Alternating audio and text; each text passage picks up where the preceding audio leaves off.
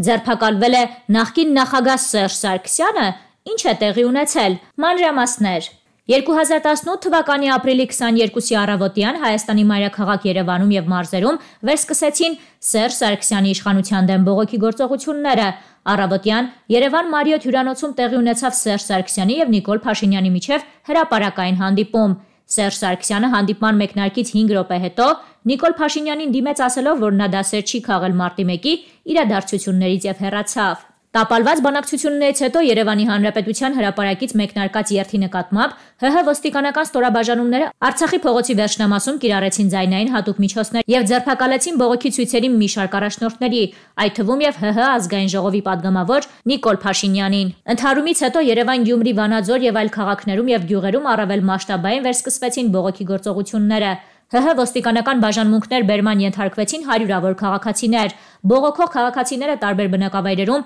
օրվա ընթացքում իրականացրեցին բազմահազարանոց երթեր, փողոցների եւ ճանապարհների արգելափակում։ Կեսօրից հետո Հայաստանի Հանրապետության մարզերից սկսեցին Երևան ժամանել ցուցարարների հարյուրավոր ավտոշարեսյուներ։ Երևանում եւ այլ խոշոր քաղաքներում երեկոյան տեղի ունեցան բազմահազարանոց հանրահավաքներ։ Երևանի Հանրապետության հրապարակում հանրահավաքին մասնակցեցին ավելի քան 160 հազար քաղաքացիներ։ Սերժ Սարգսյանը երկու անգամ ստանձնել է Հայաստանի Հանրապետության վարչապետի պաշտոնը։ Առաջինը եղել է Հայաստանի կառավարության նախագահական համակարգում 2007 թվականի ապրիլի 4-ից 2008 թվականի ապրիլի 9-ը։ Վարչապետի պաշտոնում նա երկրորդ անգամ հայտնվեց Հայաստանի խորհրդարանական համակարգում։ 2018 թվականի ապրիլի 17-ին ազգային ժողովը ձայների 77% կողմ եւ 17 դեմ քվեարկությամբ ՀՀ վարչապետի պաշտոնում ընտրեց նախորդ 10 տարում երկիրը ղեկավարած Սերժ Սարգսյանին։ Համաժողովրդական ընդվզման արդյունքում Թավշյա հեղափոխություն 6 օր անց ապրիլի 23-ին նա հրաժարական տվեց։ Այսօր արդեն տարածվում է որոշ տեղեկատվություն, ըստ որի Սերժ Սարգսյանն օգտագործելով իր բոլոր կապերն ու հնարավորությունները փորձել է ազդեցություն ունենալ Փաշինյանի վրա եւ ԿՊ-ում աննկատ տեղավորել իր հավատարիմ մարդկանց։ Սերժի այս պլանը սակայն բացահայտվել է, ինչի արդյունքում այժմ բավական դժվար է դարձել անդամակցել նույն ԿՊ-ին։ Քիչ առաջ համացանցում լուրեր տարածվեցին, որ Սերժ Սարգսյանին կալանավորելու որոշում է կայացվել, թե որքանով են այս լուրերը համապատասխանում իրականությանը, բարձ կդառնա այսօր երեկոյան։ Հետևեք իրադարձություններին։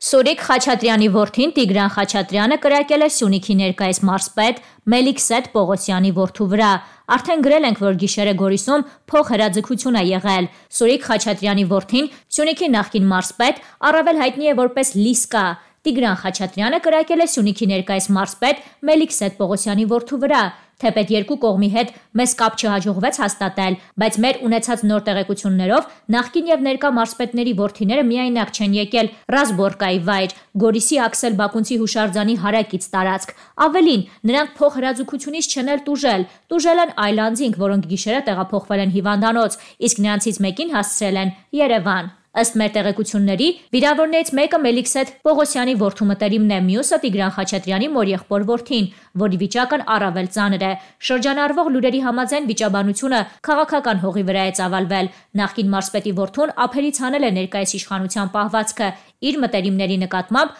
հալածանքներ սկսելու գործելավոճը։ Գրում է Media News-ը։ Նորից կհայտարարեն, որ քաղաքական պատվեր է, իրենք ազնիվ քաղաքացի են։ Հիմա ես ուղակի կադրերը ցույց չեմ, չեմ տա, կարող շատ զզվելի թվա, հիմա մենակ ձենը լսենք, տեսնենք այս մարդը ինչ ասում։ Դասախոսն է, սա մեր բարձրագույն ատյանների այդ դասական, այդ սովորելու բանի դասախոսից է, ասենք մեր ապագան նա կերտում է։ Լսենք։ Արգելի դատախազություն։ Հիմա որ ես հատ ենթադրենք հատ աղջկա, ասենք ասեմ, արի քեզ շինը։ Ես հետո դուք հանգած բարով ծերով օգնեք ինձ Իմ արտահայտությունը մեկնաբանել այնպես, ընկալել եւ վերարտադրել այնպես, որ իբր ես ասել եմ աղջի ջան, արի նա քեզ կառուցեմ։ Հարգելի դատախազություն։ Հիմա որ ես նա ենթադրենք հատ աղջկա, ասենք ասեմ, արի քեզ շինեմ։ Ես հետո դուք հանգած բարով ծերով կօգնեք ինձ իմ արտահայտությունը մեկնաբանել այնպես, ընկալել եւ վերարտադրել այնպես, որ իբր ես ասել եմ աղջի ջան, արի նա քեզ կառուցեմ։ Լավ, երկու անգամ այդ դասախոսությունը լսելը կարծում եմ ավելի քան բավական է։ Ինչպես դուք դա կռայեցիք, այո, սա շինարար Գևորն է, որը չգիտենք, չենք հասկանում թե ոնց բախտի բերմամբ թե պատահմամբ հայտնվել է այդ դասախոսի author-ին, դե հասկանում եք ոնց է պարլամենտ հայտնվել, Գագոյի ջուտը պիտի sense բան լինի։ ու հիմա ամբախ զամբախ նորից խոսում է Ժորժ ջան, տեսեք, sense բան կա, ես ինքս մանուկ հասակից նույնիսկ ես միշտ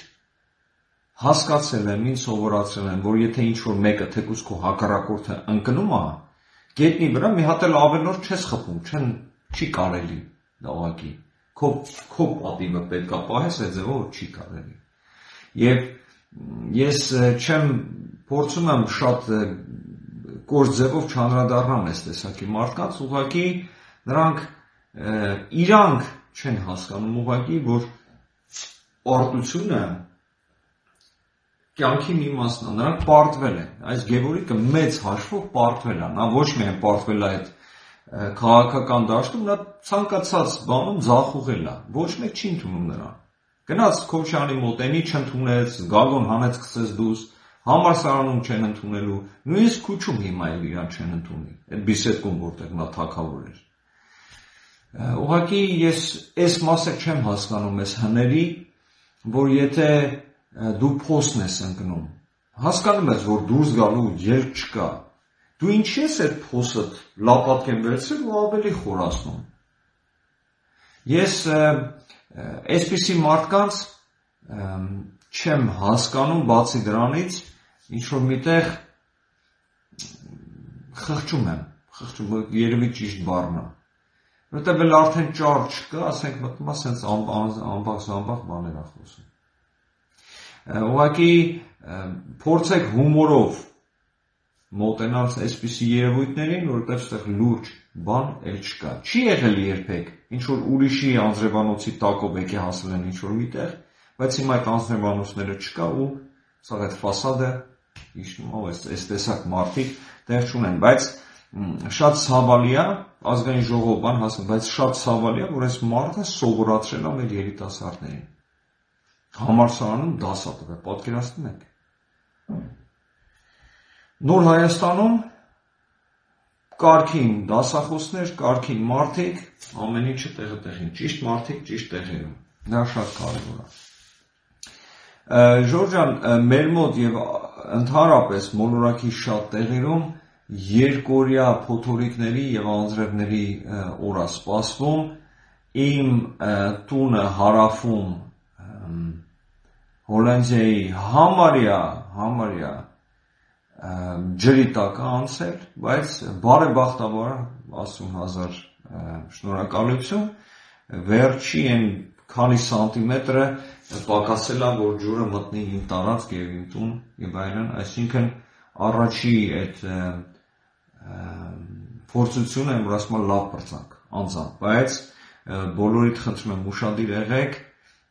Եվրոպայում, Ամերիկայում, նույնիսկ Հայաստանի որոշ մարզերում կարող է փոթորիկներ եւ ջրեղեղներ լինի, ուշադիր եղեք ժամանակին էվակուացրեք կամ ժամանակին արեք նա ինչ որ պետք է